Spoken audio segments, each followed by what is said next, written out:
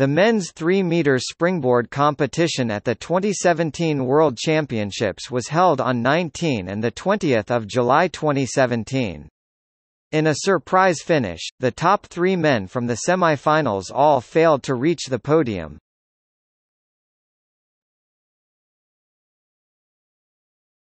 Topic. Results The preliminary round was started on 19 July at 10 o'clock.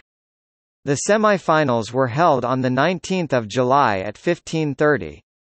The final was held on 20 July at 18.30. Green denotes finalists. Blue denotes semi-finalists.